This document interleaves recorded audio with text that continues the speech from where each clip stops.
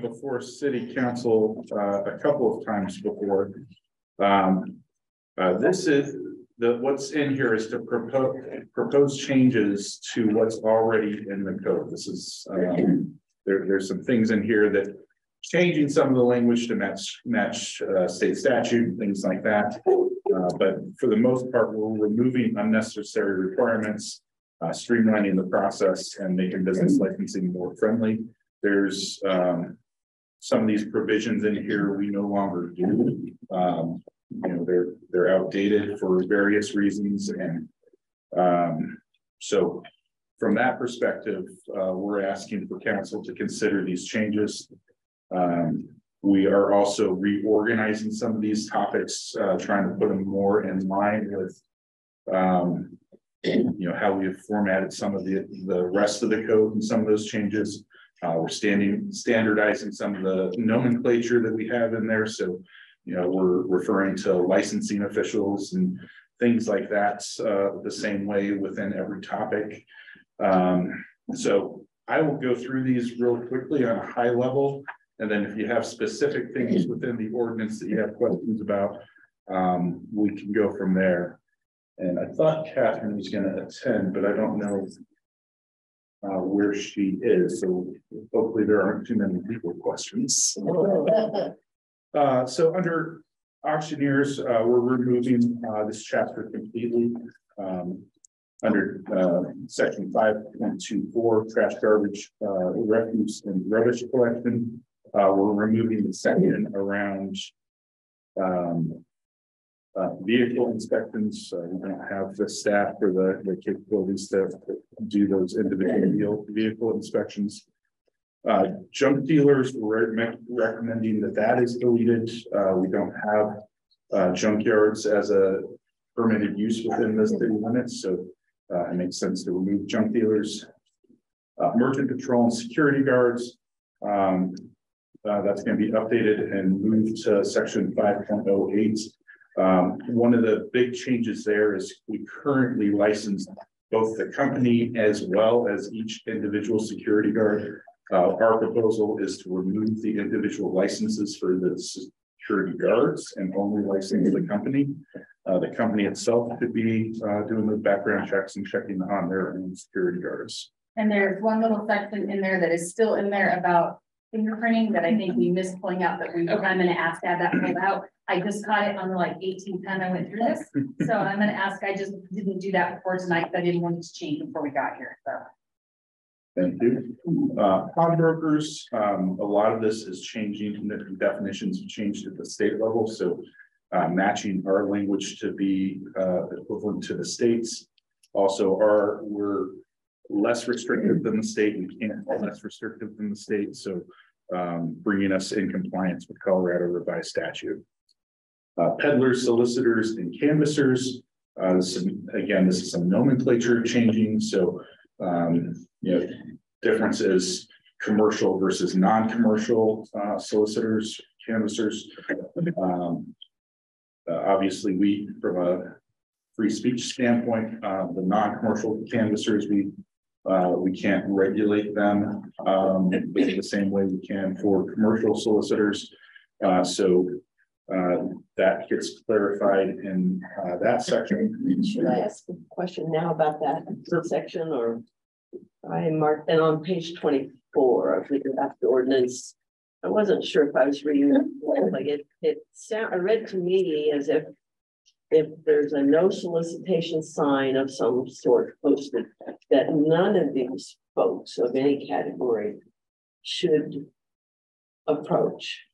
But if I'm not mistaken by law, if for religious, they don't have to follow the no solicitor. It's just for the um, merchandise and actual. And I've heard that that's true, and that's why I wondered if it had to do with the free speech stuff, but I've heard the same thing as true for political purposes. And I, I, wanted to be sure whatever we intend this to be and or however it is in state statute that we'll make that clear. But page 24 read to me as if if you got that sign posted, then no one can approach. Such as provided in section It makes it sound like I wonder if they changed that statewise. I, I am unsure. Yeah, I don't, I don't know either. That will be a section we'll have to follow up with the uh, attorneys on. have a question. Yeah. I'm gonna make a list for her, right? Well, it, it goes down in B and it says. They may enter with a no solicitation sign if they had an invitation or appointment. Right, which is not, you know, it's like a political canvas, you're not. Right. Right, so that kind of says, no, they don't want them otherwise. They can't just walk in. We can, Yeah. I think that's what we want. yeah, we, we can get- get that clarified, um, and answered for you. Yeah, I didn't have Mark to ask, because I'm unsure. I thought that was the rule also, but that's definitely what it reads. I also have a question on five point one four, but I'm happy to. We, or I'm happy to ask now, I'm not sure what your preference is. We're on it. Let's get it. Yeah, really, I. Um, I was just wondering if there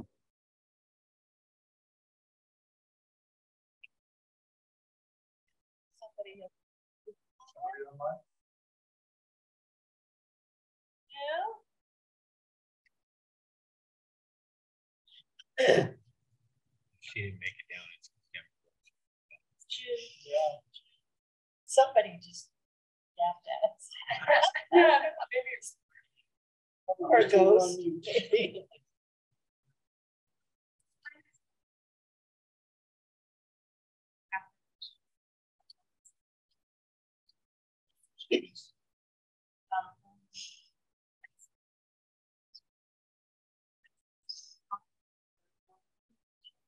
It seemed to me like it was the reverse. of the first. I was just wondering if you could speak a little bit more. about that. Going door to door.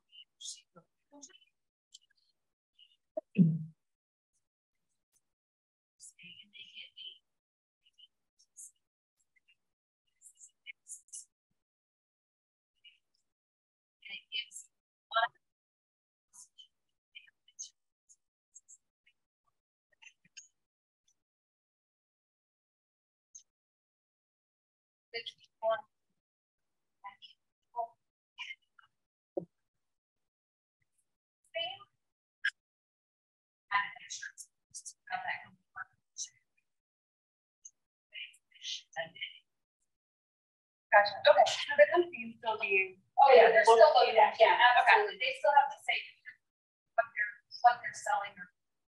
You know, they're.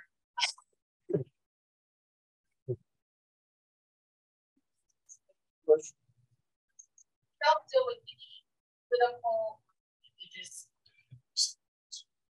Um, had a lot of solar people up in the area. And when I tell them, have you got one, get that dumb look, like, probably like I'm giving them. But it's one of those to where I told them, but it's like, if that happens, and I'm pretty sure they haven't, should I, who should I call And you? I actually contacted, them, I talked to the company, after I talked to the company, um, I let the officers know that I've talked to that company, and if they get, get another call, then there's absolutely fine to find them. You guys made contact with them. I love when they come to my door, they're like, boy, how much, I know my seven companies. how. My, my dad opens. Oh, it. Yeah,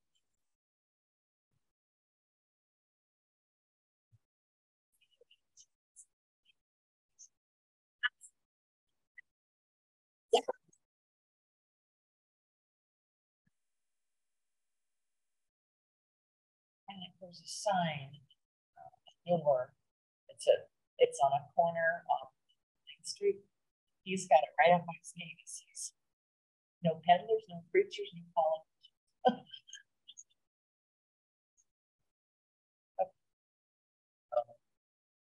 Going back to the uh, section two of the ordinance.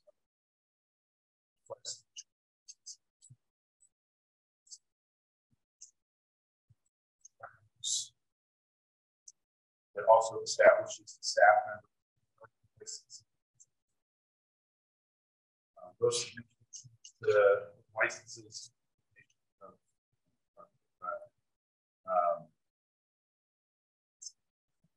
Covered the.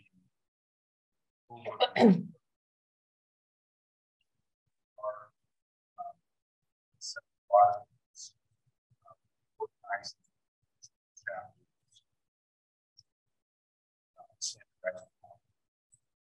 There are questions specific about the ordinance?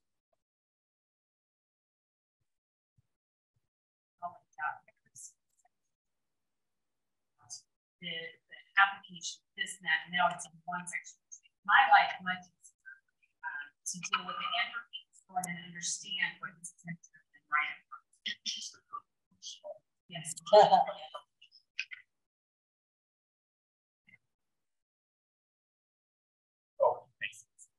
Um, last section. uh, license. That was.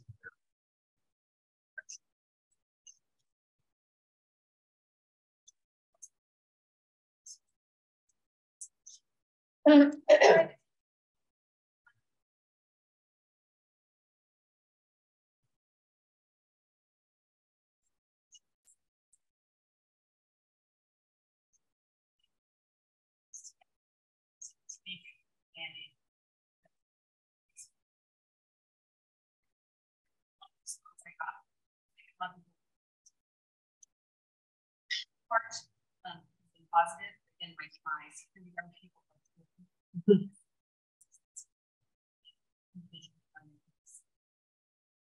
are.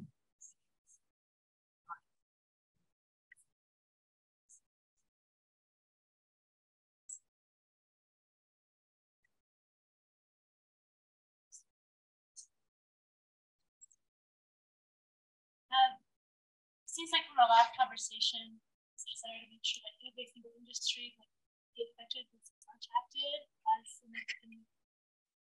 All the ones, yeah, I, I, I've made contact. A lot of do, a lot of them just automatically say. like, "Oh, Now, making changes. for communities, changing. on the routines. Out of the hearts, this- Yes, They, they've all been positive. Not adding the code, just. And so it's been positive, all of those sides. Normally, this is. We website.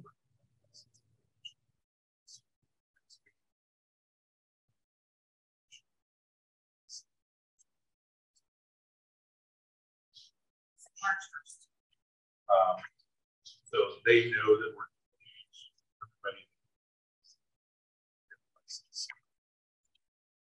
So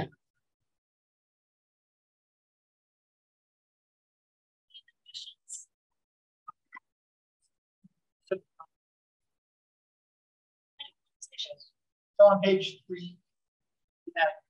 Uh, transfer authority. Uh, and it says, says that the license value. What I recommend there is. Other.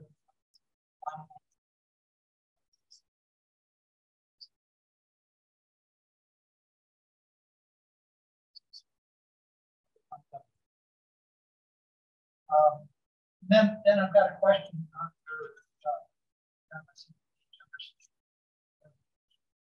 and would, would say that. uh, Licenses are.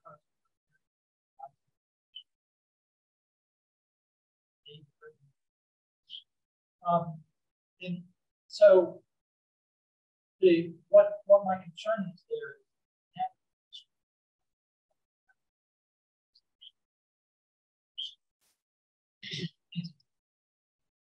And so the, it seems to me that be appropriate um, day, day of service.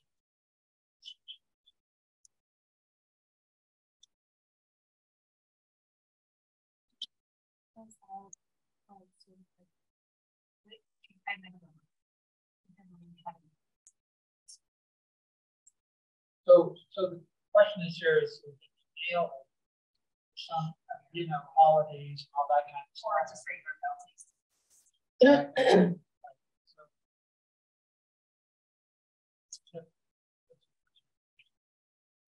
We're, these are actually counted.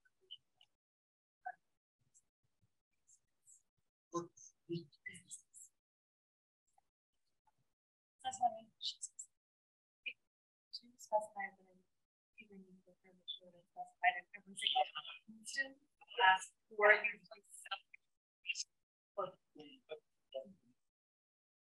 I'll ask them that one. thing, what is- the question.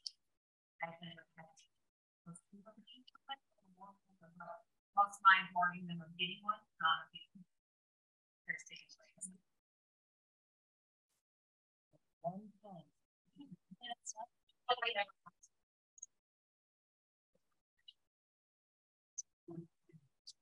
Just- The orders you give the first three days.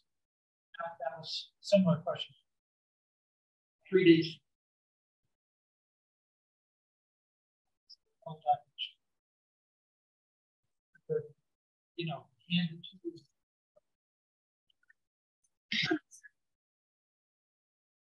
A lot of these companies not. there. So that, so that, you know, three, we're. if these are just- Right. What if the, some, yeah. We can. Yeah. That's It's- It's certified mail, they have to sign. Right, It's that- whatever that receipt is. request. Request. Yeah, something like that.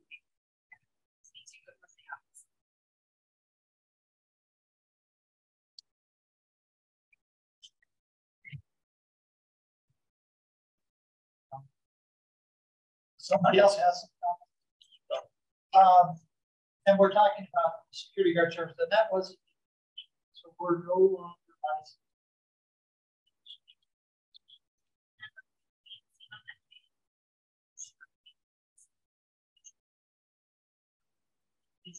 Not.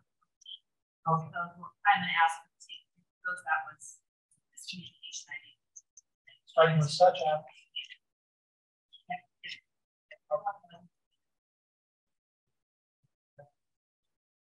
And then, then above that, it says that each stockholder.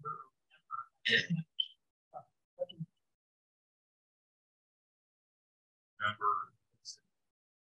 See, like an LLC, right? Are, are, No, it's a, it's a member. LLC would be a member and LLP.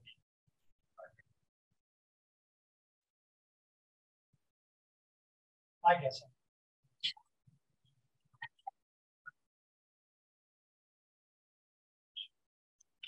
Uh, and then, and probably the bottom.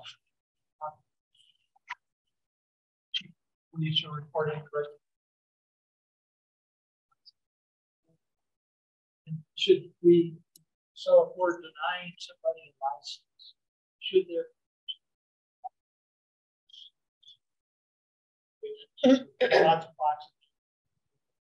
Subject. Say what that. Whatever, whatever.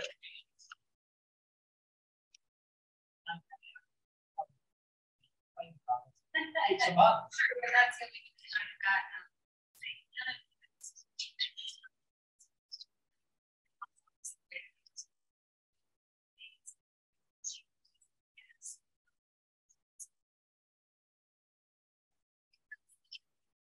Talking about our.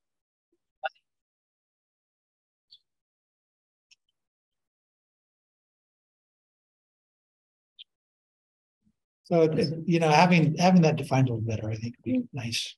My other.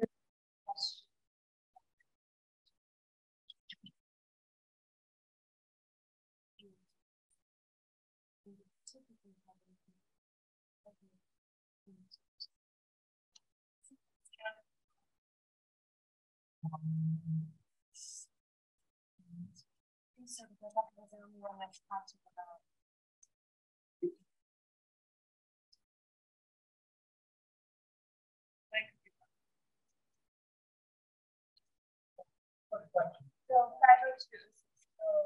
Right, the license.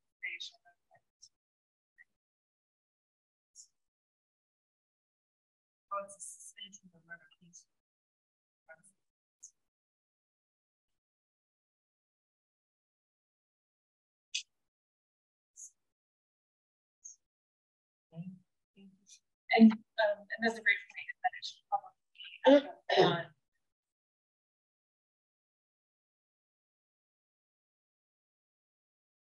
The, uh. uh, The, we say, at the beginning, we say the character and reputation. It's happening all. Should be. More.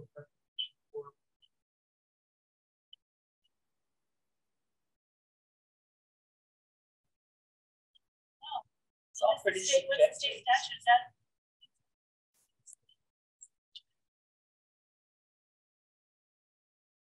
And then that, that number two is. It's like.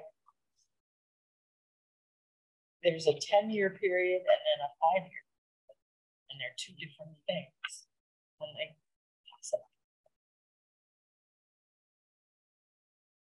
Yeah. And then.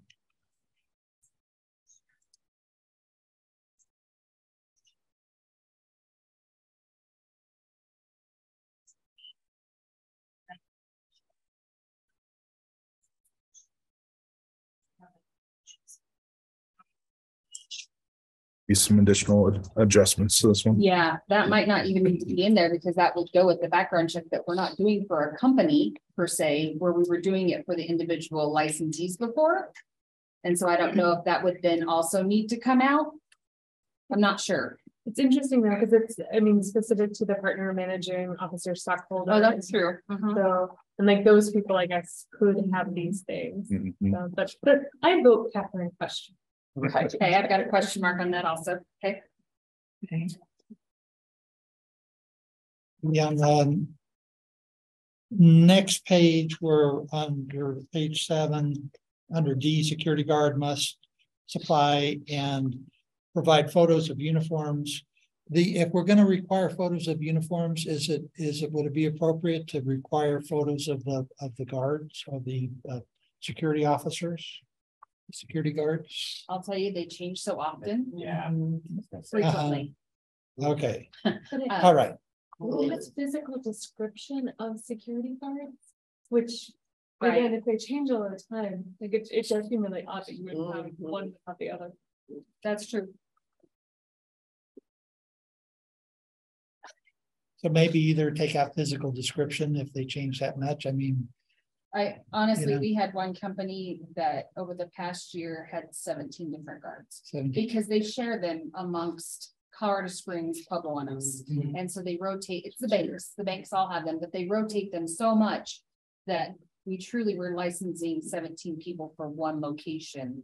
Because they might be here once every six months. A little crazy. to me. a little crazy. The, um. Okay.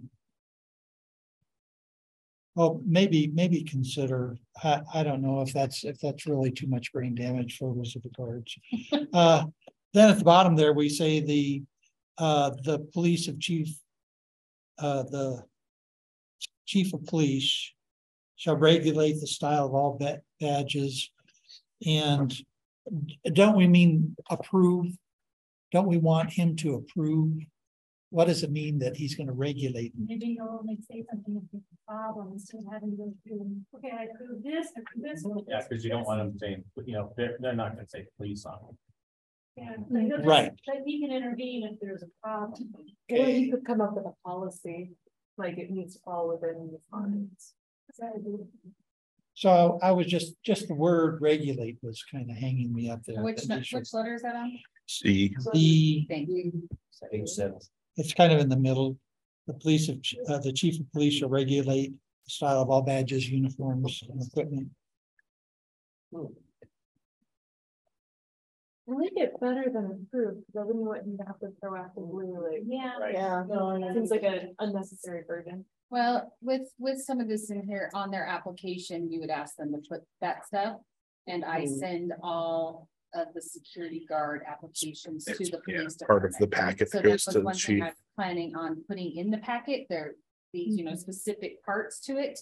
Um, so, I mean, approving, he, they're just saying, yeah, that's okay, that company's fine. Or- And, and we do that a lot, so they know they're here, for one. Um, but then they would be able to see those things also. So I don't know if that would work with approved, since he's approving the packet as a whole, the company as a whole. Um, I think I would also worry about. Yeah, Legally. Yeah. Okay. Then on the next page, page eight, the transfer of the license. Uh, and we go into a whole bunch of. Kind of pulling ourselves through knot holes here to kind of give somebody a pre-approval if they want to acquire a license. As I understand that paragraph, and so I'm saying, why? What, do we need that? This, does this, I got a hunch that this happened before and somebody wanted to know for sure the city was gonna approve them before they bought it or something like that, but let them go through the licensing process, process. Why not? Why have a pre-approval thing? Yeah, and I, I believe this is all existing language in the code. It's Okay. just being moved, which is why it's showing up as new. Okay. Uh, that's not the So- question. Yep, Well, absolutely. Unless there's some concern that there would be a gap in service for a bank or whatever. Mm. Something ended one day and there wasn't something else in place. Mhm. Do you have any thoughts or any history? on that part, no. Because we, we had one company that changed hands last year, and they just applied for a new one, and we, we just swapped all the people over. Um, all their guards, we didn't make them redo everything, we just had the company redo it, because the guards were all the same. Um, and we just swapped it that way. Um,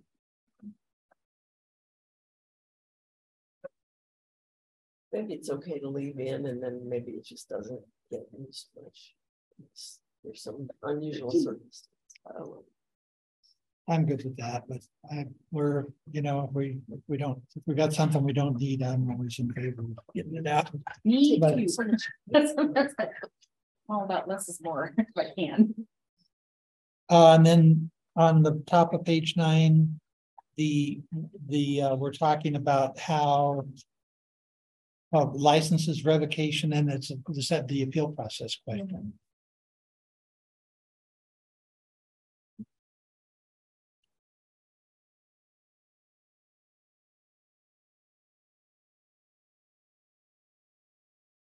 And then. Switching to trash haulers. Mhm. The uh compensation. Oh, it's got that, we got that. Okay, it says. Um. Compensation means any money, property, service, or things of value charged or received or to be charged. Or received. To be charged and to be to be received also. Question. Would be clearer, if you're gonna have that many words. To have the proposition in front of both of them. so. Okay, just a question there. Then I have a question on the next page. Anybody else has something chime in as we go on? What, what were you eating when you read this? If you, if you say review it, I review it. Yeah, You're on Okay. page ten? I am on page ten and we're looking at number two under B. Okay. Okay, a person who transports trash or recycle, say, the following persons are not required to ob- obtain a trash haulage license. A person who transports trash or recyclable materials produced by such person, or shouldn't it say, or immediate family member? I mean, if my wife tells me to take out the trash, you know, that, I don't want to be in violation of the code here. But the person or their immediate family, is that what you? Immediate family member, we- immediate family. Such well, person's household, maybe? Household is, all right, you know, I mean, That might, you can ask a friend. yeah, yeah, I mean, that, that leaves it wide open, so. right. By such person.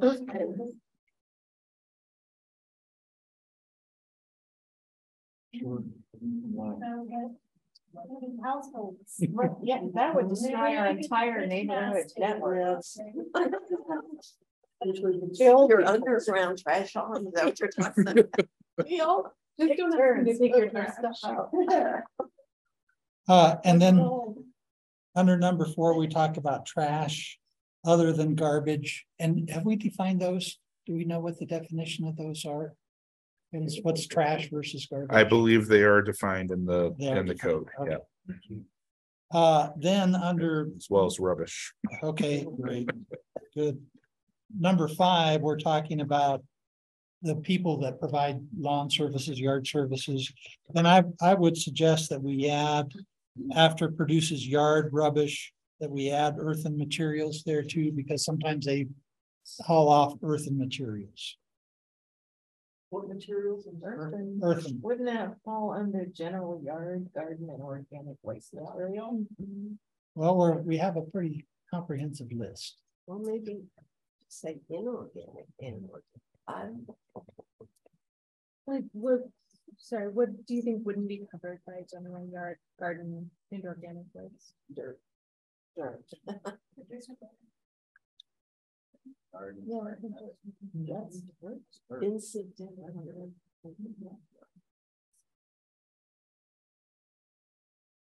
And we, we, we are talking about branches to express, I mean, we give a comprehensive list, but we don't mention dirt really, and that's why I say that'd be appropriate to add earthen materials here.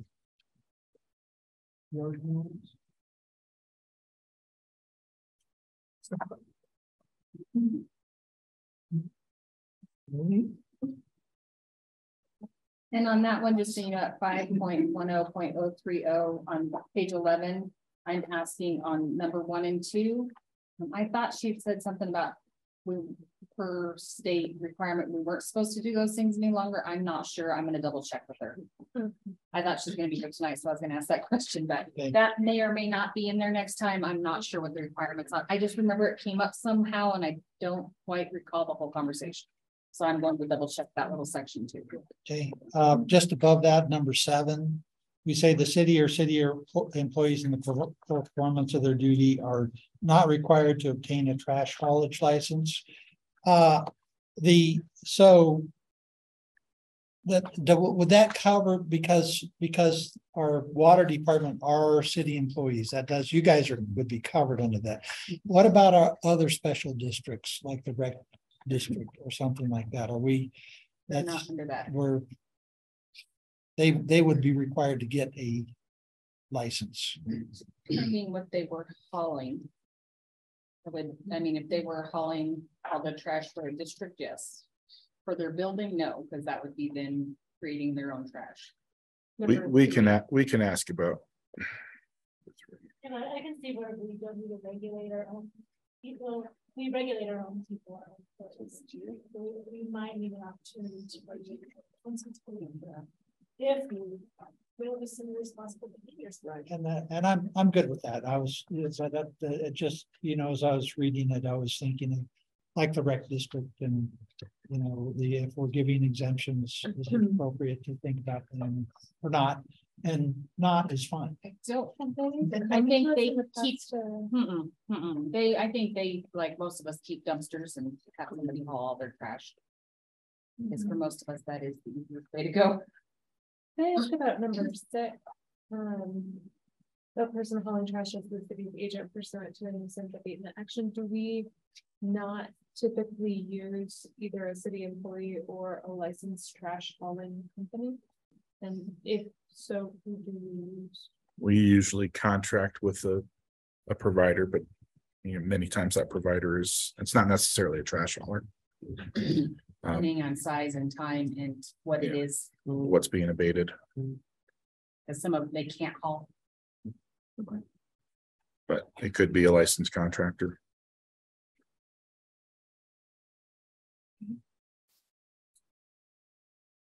Then the um. On the last page twelve, it says the trash haul truck must be fitted with a good and substantial water, so that should be, should that be substantially watertight? Doesn't have to be, know. So a substantial watertight, Compound Container. a a substantial watertight container is one that is hefty. Yeah. Okay, substantially watertight is one that has to be Substantially water. watertight, right? I think. this is- So. Think that's the right wording? Yep. Okay. I'm good with that. If it's substantially watertight, that's just not. It leaks. It leaks. Gotcha. If I- Okay. And then on page fourteen. Now, let's see, then what are we talking about? Pawnbrokers. Uh, Sorry, Jen, do you mind? I had a more macro level about, Sure. on more macro level question about home brokers. It seemed to me like this was the one section where there actually are additional requirements to get in line with, um, new state law. Or at least like substantial changes that are just removing. We had to change a bunch of verbiage to make it equal the state. And I think we did have to bring something because we did less than what the state required to begin with. So I was just wondering about this in particular, if um you had. Already had interactions with pawnbrokers as they were coming in, and if so, how those conversations went, given that this is one where there are. The one pawnbroker we had is no longer in business. I have had a new pawnbroker tell me they're coming into business and I told them to check everything out online. But at the moment, we wouldn't have one because the only one we had was on Main Street and he went out of business. Um, he was very good and complied with all the stuff and was, came to the meetings about doing the online stuff. Um, and most, most places that they've done it anywhere else, Right. that is required of them and has been, because we're I about three years behind, to be honest, on changing that state requirements. Um, Street? Main Street. It was the Main Street one that went out mm, Might want to check the, there's one right here on Third Street. now, yes. But I think at one point they weren't doing, there's only certain things that go under the pawnbroker. It gets real muddy. And so even though some of them, it seems like you would have to have a license, when I check it, they don't, because it has to be things with serial numbers and different, there's different parts to it. So really, we only had one last year. It's not like a consignment shop. No, it's not consignment, mm-hmm. totally different. If it's not of a certain value, has serial numbers, there's very specific things about it. Because that was a deep conversation we had with the attorneys mm-hmm. about who, because I give them a list, I'm like, who on this list would we like? Mm-hmm. And we at the time had one. And like I said, I know one has came in, they have contacted me and I told them, hold, hold, we're getting there. And so um, I did tell them to look at everything online and let me know if they had any questions with changes that we were looking at. And I did not hear back from them. So Thank you so much. Yeah, Sarah. this end of the table, but then maybe we just discussed it while we were being rude and talking amongst ourselves. But there was a pawn right there on Third Street, just uh north of the highway. On the chasms, right behind the chasms. Yeah, Right there. Third Street Pawn. Um, I don't know, and I know there was discussion on one, but it was the stuff they had that wasn't considered. Okay. okay. Because I don't think they had anything that fit the parameters about. We'll double check that. We'll double check, yes, and once this goes in, because I always get the information and then I, I get my lists and I check. Mm. Because I don't know what a lot of them, even though they say pawn, it doesn't automatically mean they have to have a, one of these licenses. Okay. That's just for broker.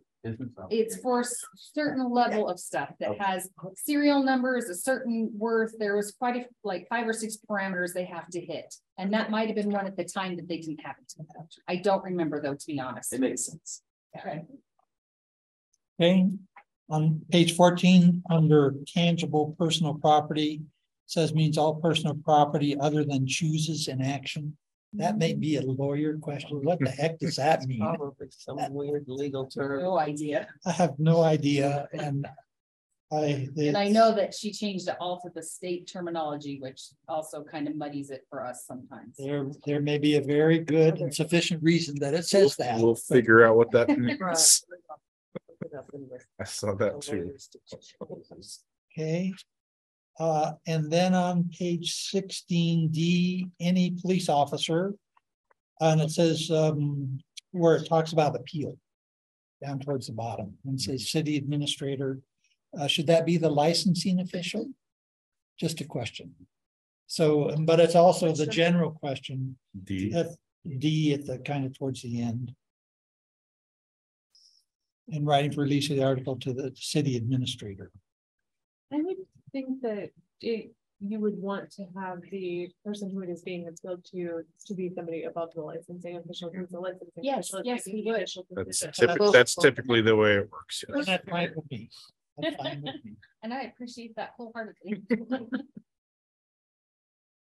Okay, and then I just have a real minor change. Wait, um, above section fifteen point fourteen point oh nine oh, which I'm not sure where that is on the page. Uh,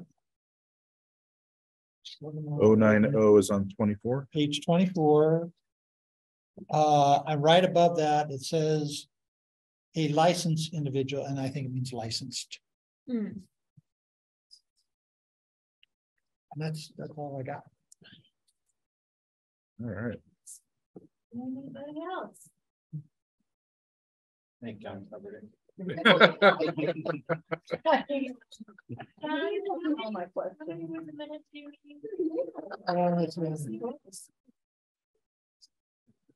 Eight hundred last time I was clocked.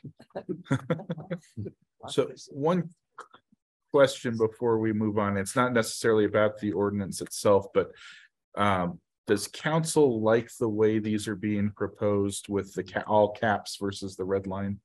I prefer the red line. I just think. You Prefer the red lines? I'm good. either. Just so it's clear with the memo too, just what the changes are. Prefer the red line? It doesn't matter. I I mean, I I- kind of like the red line. The red line meaning like using track changes. Yeah. The problem, the problem that you get is when you move a whole section to another, you're just changing numbers, you get a whole bunch of red line. But then it shows up as a different color because it's been moved. Whereas with this, it's just in all caps and I don't know if it's new or if it's just Mhm. been moved. Okay. So I feel like you actually get more information. I'm good with red.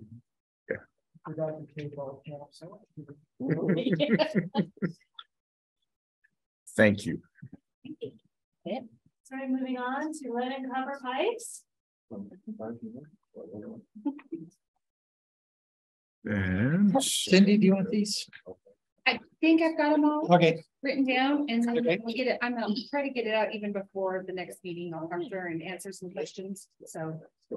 Because, you know, then we're on a little tighter uh. Deadline if I want to get the licenses by March, so.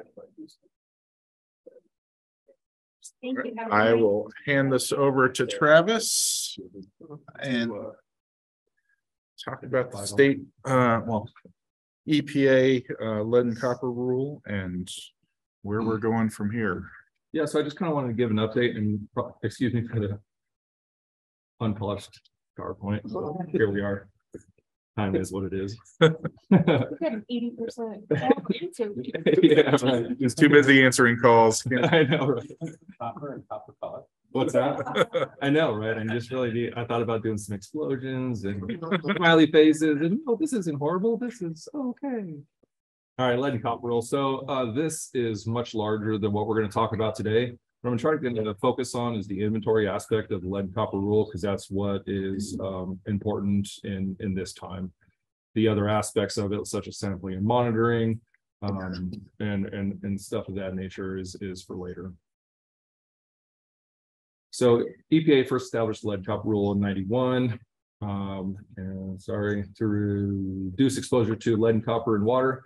Contaminants probably primarily uh enter drinking water through the corrosion of service lines, fixtures, or plumbing. EPA has revised the rule multiple times since ninety-one and published lead and copper rule revisions on January 15, twenty-one. The LCRR became effective on December 16, uh, twenty twenty-one. So you might ask, why are we talking this in about this in twenty twenty-three? Again, sorry. EPA recently announced that it intends to further revise its regulation on lead and water. The lead and copper rule improvements are expected before October twenty-four. So what they're proposing to change will happen before October twenty-four. So everybody's kind of waiting to see what revisions are before uh, we hammer out a bunch of work and then they're not going to accept that.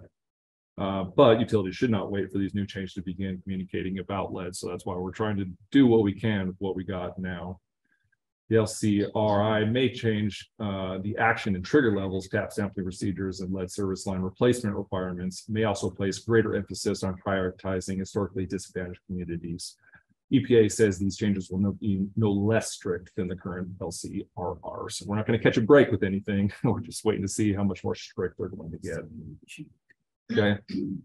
So one of those things, though, that um we're waiting to see is that lead service line replacement requirements because we're waiting to see what percentage they're going to put on entities to replace per year. You know, is it going to be three percent, five percent, ten percent? How quickly are they going to expect people to replace their lead service lines? But we need to know what we got.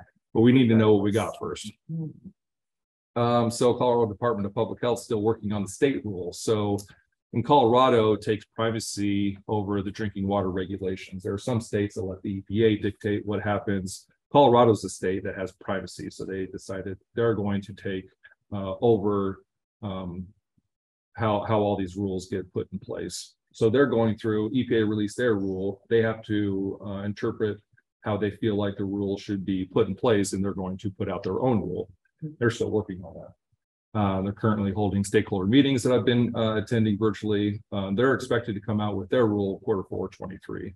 So that's why we're talking about this now and not way back in twenty-one, because everybody's been waiting in Colorado to see, well, how are they going to interpret what the EPA has put out?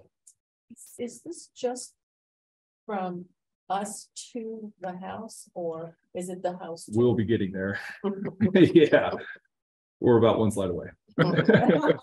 Yeah, yeah. So it's how Colorado interprets EPA's rules. Does it, do they have um leeway in terms of making it more or less strict? Or So when a state uh comes out and they say they want primacy, they cannot be legally less strict, but they can be more strict. Okay. and the EPA has programs to review state programs. Right, so yeah, they cannot be less strict, but they can be more strict. Okay, so one of the things that everybody's been waiting for is how are they going to define galvanized and needing to be replaced? Okay, so what they've actually said now is. We'll go to the next one, it'll be a little bit easier. Okay, so this is a service line. Okay, so you have property boundary, if you can follow my mouse.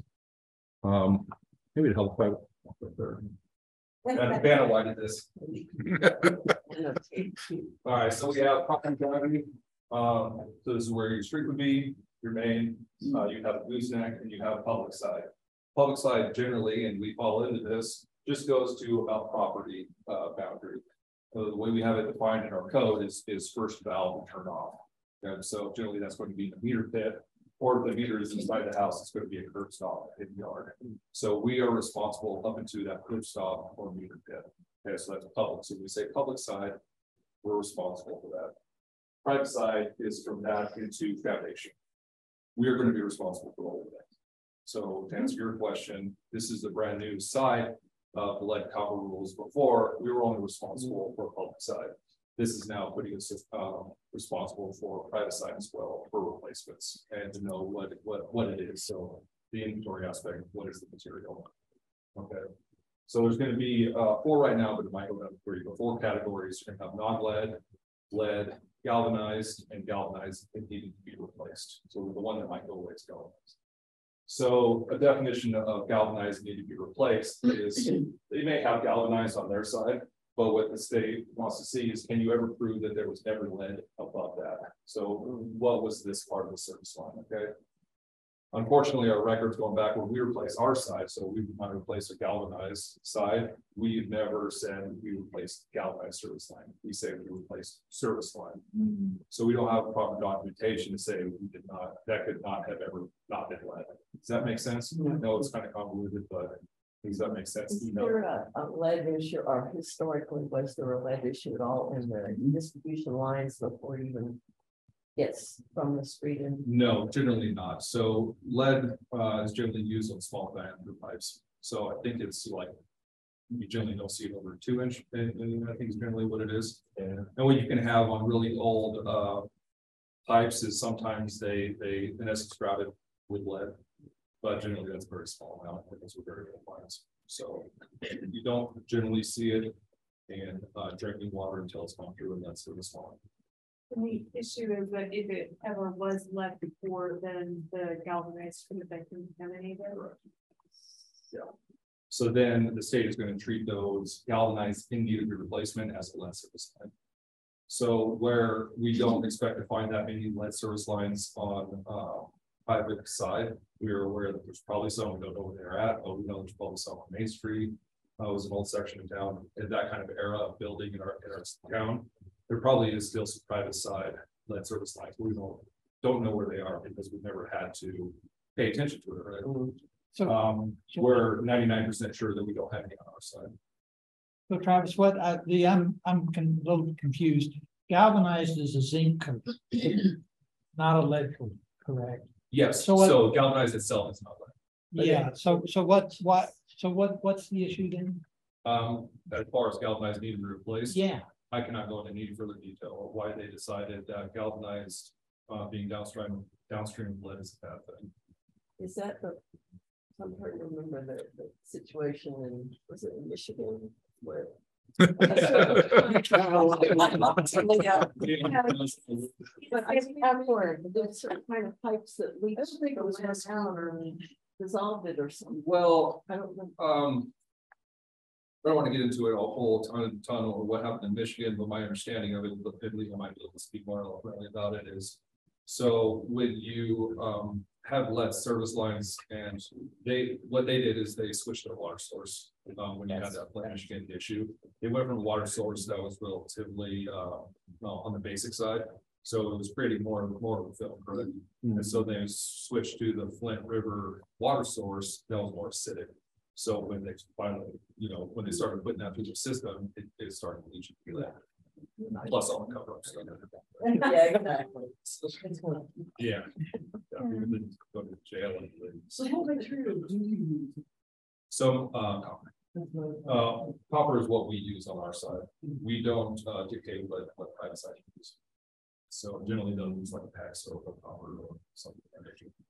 What's the purpose of reducing that? Because I think you flexibility. It is, so the copper that we use is rigid copper. Um, so that, you know, when you have uh, a tap in main, it's at forty-five. So you don't want it to catch any possible uh, rust or anything. You also don't want to catch air, so it's at a forty-five. And then a rigid won't go over forty-five, so you have to have a gooseneck to provide that. Yes. yeah. I have a stupid question, but you knew I was gonna ask it. Um, are we?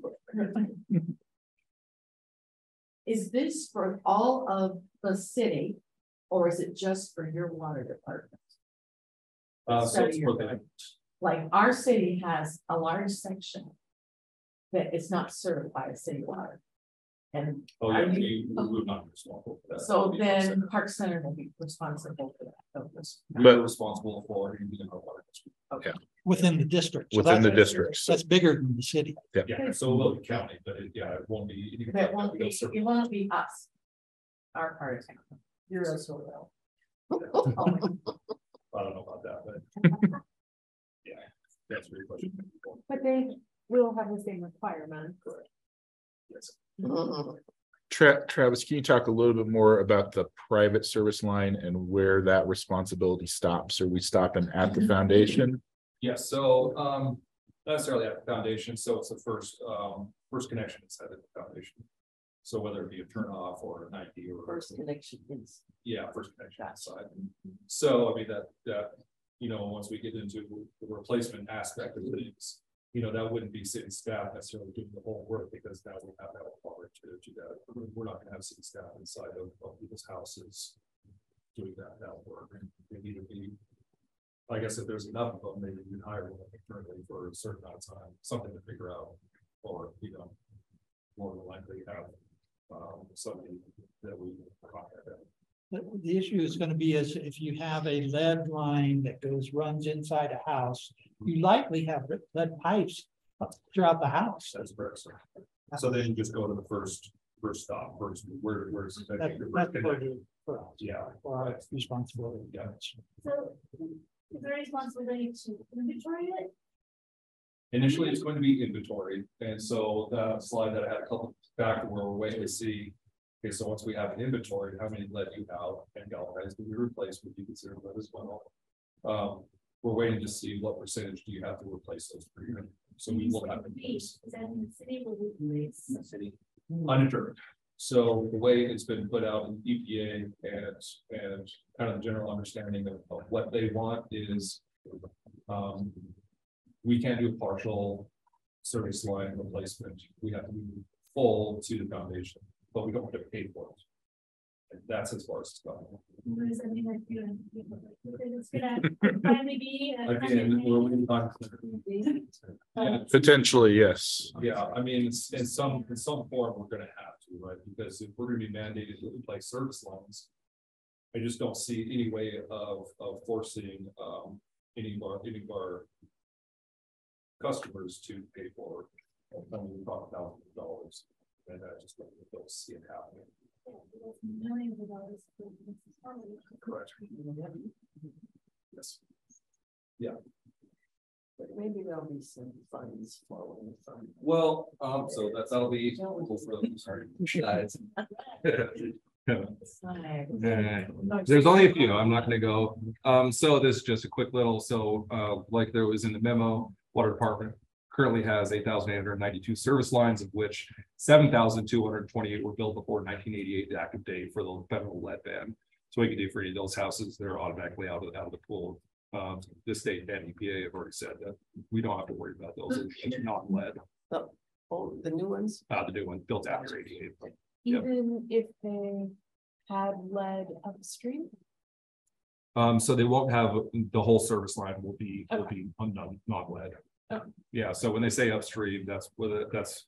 Uh, the entirety of what they're talking about. They're not talking about anything upstream that's connected to a main upstream. That makes sense. Yeah. All right, so uh, we have our RFP uh, pretty well ready to roll. We're looking for a company that has the ability, and this is just kind of um description, nature of the project, so kind of the first paragraph that I have, so. Um, I'm not gonna read it out loud, you guys can read that. Fully sure, but what I will is is kind of hit the high points. So what companies are are coming in and doing is kind of providing some sort of solution to people like us that was like. We're not sure how to tackle this. We don't have the staff to be able to go out and look at each individual um service line to see what they are. Okay, so there's kind of three main uh accepted ways of of doing this that that I kind of know of right now. So you can um. Pothole the service line, and so that's that's actually getting eyes on uh where where it would be in the ground. Um, you can see where it comes through the foundation, what's the material that comes through the foundation. Uh, but that's getting in people's houses, right? Or you can um test like we would for lead and copper sampling program. You can just test their water and see what the lead. uh, Result is, and then you can be reasonably assured whether it's a lead service line or not. So what this company can do is, is um, it kind of uses this data management. So they'll take what limited data we do have. And kind of plug it into an algorithm, uh, predictive modeling, and say, okay, in this section of town, you're more likely to have lead.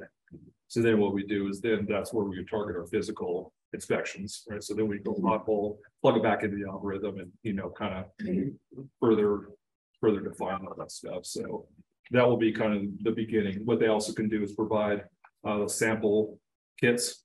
Uh, they already have all those kind of figured out, um, marketed, all that, all that good stuff to send to uh customers. And then, of course, we pay for the sam- sampling and everything like that, but we don't have to develop all that. So any, any spots that might be tricky for us to get in, or again, we're just not gonna have the time or, or uh, staff to be able to do all of them. Um, so we'll do some sampling. Uh, what else they could do is they can do the public outreach aspect of it. So we're gonna do education, right? We're gonna do all kinds of education when this is coming. So when we say that we can, um, when uh, the service line that comes into people's houses, um, the hope would be that it wouldn't be city staff doing that because, you know, there's a large population that are never gonna let people into their house for multitude of reasons. Um, so what we would hope to do then is, is uh, do some outreach to them saying, okay, take a picture of it send it to us. Um, this company provides a, um, kind of repository to be able to hold that kind of data. We, we really can't do that. Again, you're talking about thousands. You know, that's not an Excel table. That's not, you know, we don't, we just don't have that infrastructure to really handle that kind of thing. Uh, they would, they would kind of provide sort of that, that stuff. So kind of an offshoot of that is I had a conversation with Denver Water, who's already kind of gone through this. They popped high on, on lead, and they've already, they're years into doing this already. Um, what they've kind of found is you can, you can put out mailers and ask people to do this, but you only get a handful of percent, maybe ten percent if you're really lucky response rate. What they found more um success doing is saying, okay, you get twenty bucks off your bill if we get a response. But then, of course, you are talking a chunk of money, you know, even if you get five thousand, twenty bucks, you're talking, you know, a lot of money there, you're talking hundred grand. So that's a lost revenue. So okay. we're not necessarily paying that. It's just money that's not going in our coffers. I've not spoken with finance about that. So yeah, yeah. Uh, she okayed it. Great. yeah, I don't see her, so vote taken. Great. Um, awesome. I, we won 50 there's also a cost um benefit ratio there as well, because twenty bucks is a significant chunk of change. But the cost of actually doing the public outreach and of actually sending somebody into the home Yes. could be much more than. Well, you could even take it to the sampling to do a lead copper sample is thirty dollars. You know, so, you know, that would be kind of, hopefully you catch a lot of that because then you have what's come to their home. Check mark done, you know, so that would be, uh, well, I think with proper outreach beforehand, saying this is coming, this is a legit thing, I promise, you know. Uh, we might have a pretty good response rate. I think they said they, they got like fifty or sixty percent or something like that in- in offering, you know, they said, of course. The more funds you offer, the better response rate you get, but they found that twenty is pretty good. You know, that's, that's worth a moment of your time to do something. So, Is there any, um. Are you, are you at all concerned with the wording of the RFP or, um, what you will? Get back, given that we don't yet have the Colorado rule and we don't yet have the final? I know that you can't stop and wait, but I guess. How, how concerned are you that it might be much more restrictive and that this might not actually? Go far enough in terms of giving you the information that you need to be able to actually comply? so there certainly is a concern there, but what I think it'll still give us plenty of, of really good information. That even if it's not final, at least we'll know where the lead service lines are. So where the state has been iffy about using, um, data analytics by itself. They're probably not gonna do that. They're not gonna say, well, you plugged enough information in and said this whole section of town is okay, but you didn't look at it. They're probably not going to accept that, but that's information we need because we don't have the records.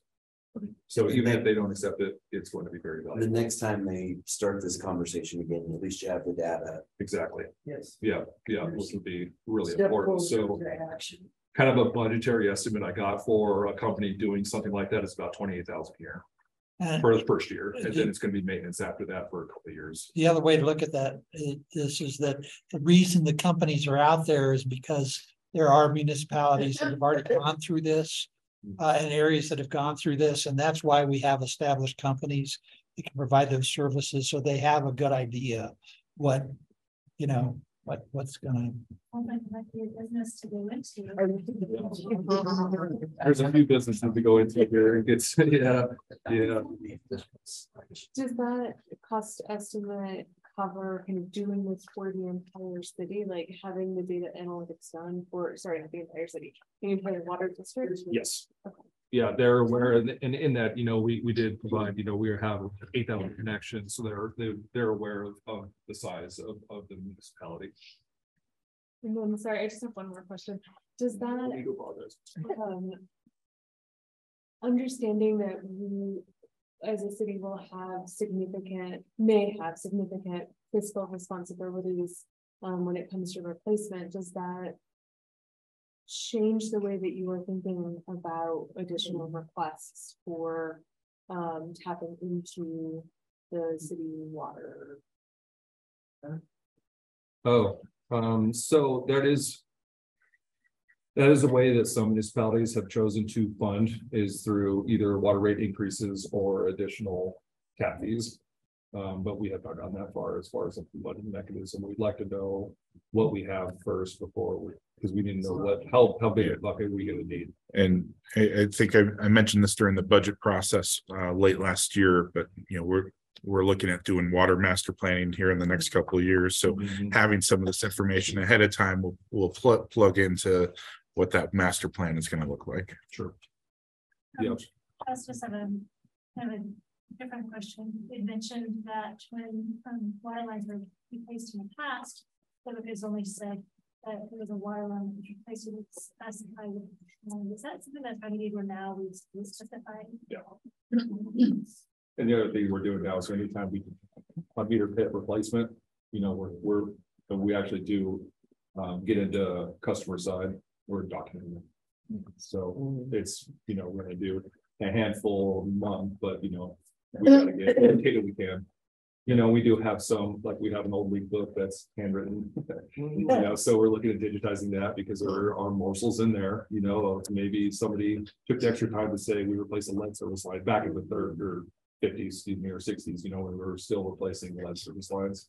Kind of few and far between, but it is in there. So, you know, again, any data that we're gonna be able to bring is gonna be there. Yeah, That's all being tracked in the Cartegraph, the asset management. it is not currently, but it will be. Yes, When did we start? Back in. level of detail? about what we're replacing. When, when did Travis start? Yeah. About a year ago. Yeah, Yeah, yeah, so, and you know, I mean, people didn't know that they needed, uh, you know, it's not just. Yeah, but, you know, now we know, so we gotta do what we can. So I think there was one more slide there for. Do you ever had lead detect in your system on just your random tests? No, because on our tests, again, we were just always what we have on our side. So we were always tier two, which was copper with lead solder. So if they, if you have a copper line prior to eighty-eight, they probably used uh solder with lead in it. So that was what stayed deemed as kind of a tier two, tier one being lead, lead service lines. Um, and so it was always tested that, so we've always been very low. Yeah, But in-home testing. There's just been nothing, right, as far as a program. yeah, very, very low. Yeah. Is that something that they will potentially be covering either under the EPA or the Colorado rule, this tier two Yes, it's, it's, solder? that's all gone, gone away. So now they don't care about the, it's either lead or not lead, basically. Yeah, they, they don't have those tiers anymore. Um, Probably. Yeah. Yeah, What's, everything that I say is not what's the issue with galvanized again? Is it per, is it? uh, Is it I think lead? older galvanizing had like lead impurity in the Oh, zinc that prior makes to a certain era, so Thank you. if That it's makes- older, it Yeah. I don't know. has come to it. House. Nowadays, I think it's pretty much straight zinc. I don't think there's anything. to Yeah, it. I don't think even galvanized really use it more for service material just because it does kind of turn, turn jumps quick. When you're talking mining, you generally talk about lead zinc ores because they occur together. Mhm. All right, any more questions for Travis? Yeah, well, there's, sorry, One more slide. I know. You did all. The fireworks. Uh, There we go. It's the money shot. All right, so once we have, all right, I'm not gonna read this word for word, but here's my point, but once we have an accurate count of lead and galvanized need to replace service lines. We do need to come up with a strategy of service line replacement. Will need to be in place. The strategy will need to be for the entire service line from main to foundation, kind of like we're talking. The state will not recognize a partial service line replacement. An average cost of three to five thousand for a service line replacement. Even if we just have a thousand service lines identified for replacement, I mean, a total cost of three to five million for service line replacements. So there are federal infrastructure monies available via the state revolving fund. It's the way that Colorado has chosen to uh, distribute the federal infrastructure uh, monies. My meetings with the state, he thought it would be distributed fifty percent grant, fifty percent long-term per year loan. Several conditions be tied to these dollars, such as Buy American Davis Bacon. This has driven project costs up to as much as thirty percent according to uh, state rep. Another condition may be that the water department uh, may have to have a state approved water conservation. plan. Details of that still trying to figure out, but if they're gonna give you money, they want to see a plan in place for So for the, for our water system, a conservation plan for the city. Yeah, yeah, Mhm. yeah, and again, I don't know what that looks like, this point, I haven't made it that far. So, uh, when you talk about long-term debt, just as an aside, because this is gonna be more where you guys come in. You know, the water department does currently have long-term debt, where we have about seven and a half million, uh, from certificates, participations. That were issued in ninety-seven, uh, originally issued in ninety-seven, reissued in two thousand eight, again, in twenty seventeen. Original amount is eleven point two billion those will mature in twenty thirty-two, so they were a fifteen year. Um. timeline. So what will have to be done, you know, how much long-term debt are we gonna accept, and try to get as much done. With those dollars, because yes, it drives up thirty percent, still mm-hmm. twenty percent. Back, you know, free money, not free, but grant money. You know, so when you're talking millions of dollars, that's still millions of dollars of, of available money, even if it does drive up project costs. Using those funds, and you get to do a lot more quicker.